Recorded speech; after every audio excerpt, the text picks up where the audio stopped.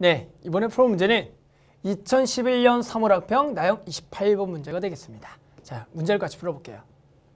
자, 이번 문제는 x에 대한 방정식 코사인 x와 2n-1 파이분의 1 x의 양의 실근의 개수를 an이라고 했을 때 시그마 n은 1부터 24까지 an 더하기 1 곱하기 an 더하기 3분의 500의 값을 구하라는 문제입니다. 아, 여기 코사인이라는 그래프와 1차함수의 양의 실근의 개수를 구해주라는 거죠.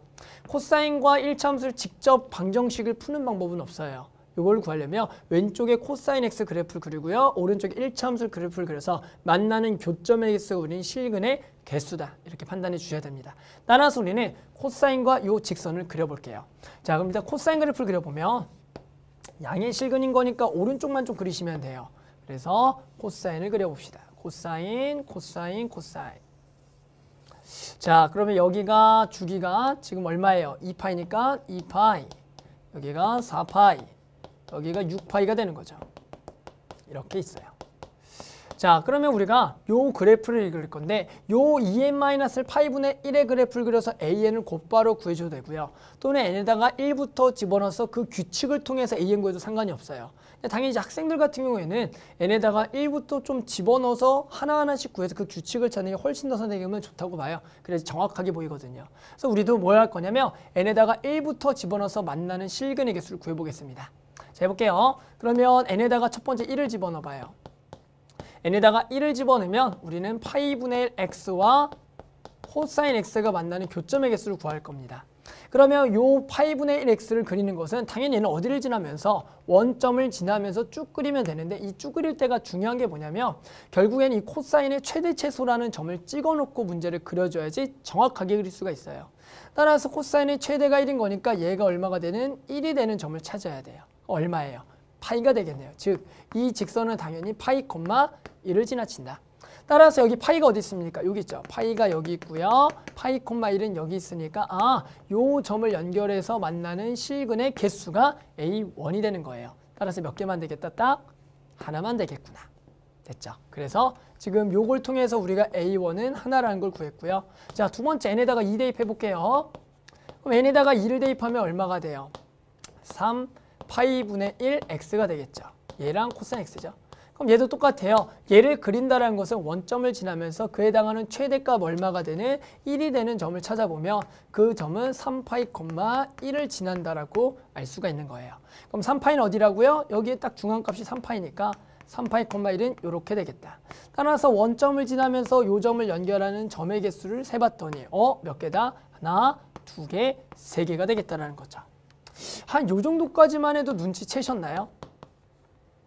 그 다음에는 당연히 n에다가 3을 집어넣게 되면 여기가 5파이분의 1 x가 되면서 우리에 해당하는 그 점이라는 것은 5파이, 1이 되면서 결국은 이 점을 연결하는 점의 개수가 되는 거니까 아까보다 딱 몇 개가 더 늘어나겠다? 두 개가 늘어나서 결국에는 A3는 그냥 5가 되겠다. 이렇게 구할 수가 있다는 겁니다. 됐죠? 따라서 우리 뭐야 일반항 보이죠? 1, 3, 5, 그 홀수들의 일반항이니까 아 A에는 2n-1이다 이렇게 구할 수가 있는 겁니다.